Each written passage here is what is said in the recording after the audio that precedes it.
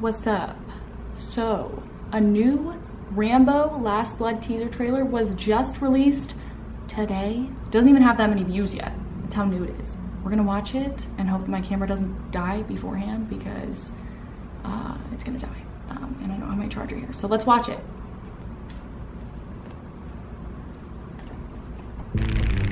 You're dealing with an expert with guns,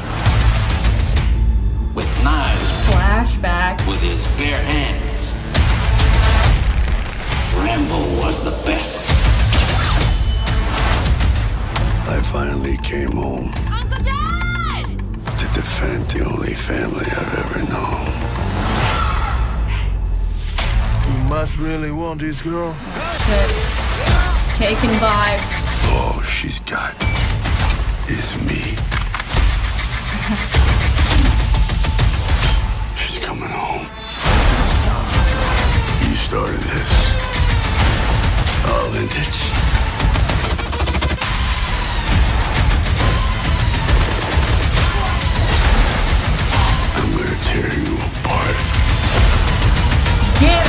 Rambo. This is what it feels like.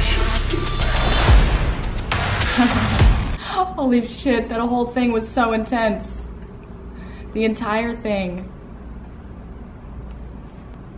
I mean, definitely way more explosions than any plot explanation at all. I mean, I think I get the general gist of it though. It's a taken vibe. It's kind of a taken vibe. But I like that they did that. You know, who needs the storyline description when you have sepia toned flashbacks, anyways? The one thing I will say, uh, and I only noticed it because of the flashbacks, is that where the hell is his long hair, Rambo? Grow your hair back out. That's your look, dude.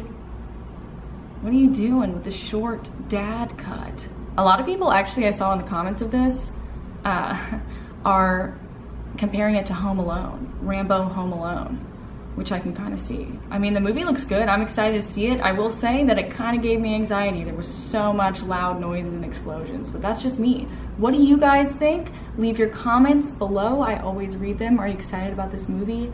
Let me know. And uh, thanks for watching, always. it didn't die. Oh my god.